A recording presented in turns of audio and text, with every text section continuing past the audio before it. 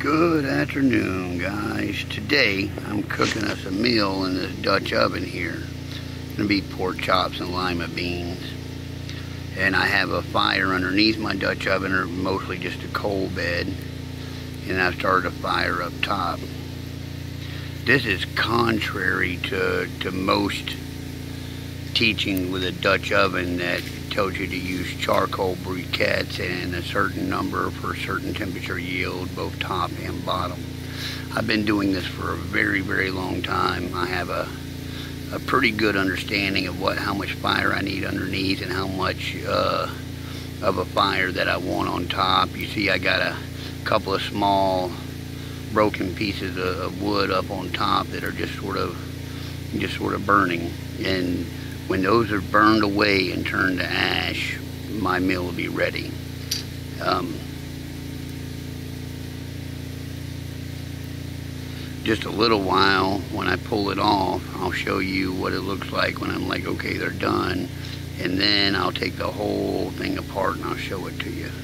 Right now, click like, subscribe if you haven't already, and I'll be right back with the rest of this video.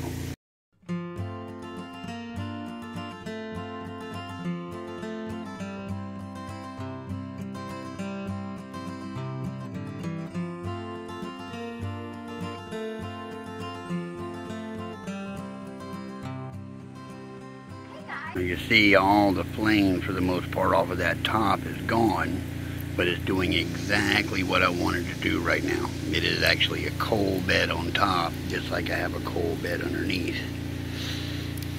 If you look at it, see it's still putting off exactly what I wanted to do.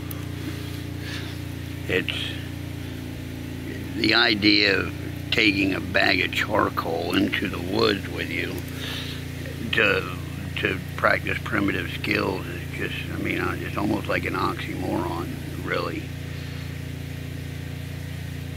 I seriously doubt that there was any charcoal briquettes used whenever uh, Dutch ovens had their heyday, which was probably during the the settling of the United States, exploration of America. So this still got I don't know, I'll probably leave it on there for another 15, 20 minutes or so before it's done. But it sure is a pretty thing to look at, I tell you what. Alright guys, so it's been probably 20 minutes or so. Can you see my coals on top? Let me see if I can... Very little red left at all on there, so that's pretty much burned away and my coals underneath are still going, but they're pretty much done. So what I'm going to do,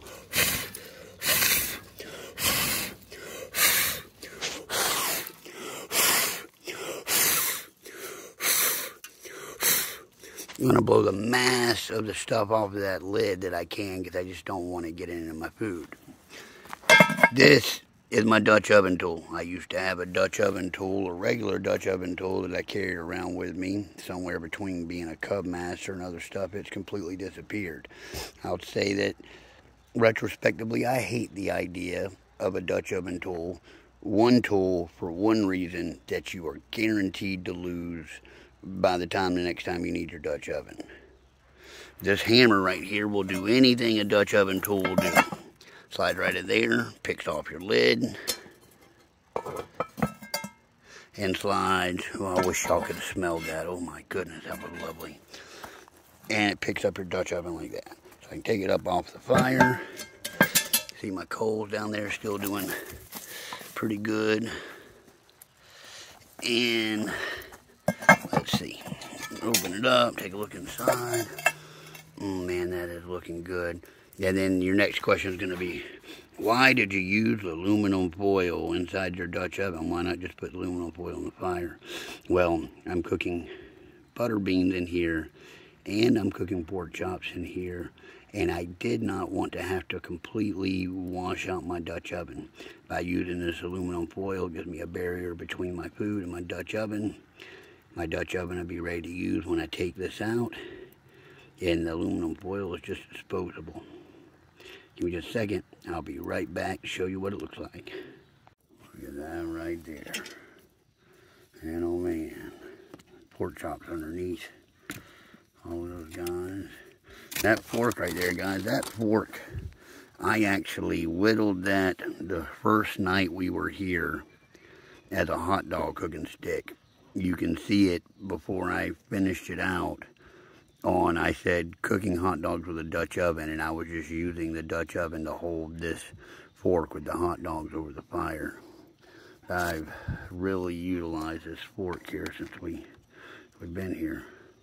Those pork chops are perfectly done. Those beans are looking pretty good. Maybe I can stab one of them.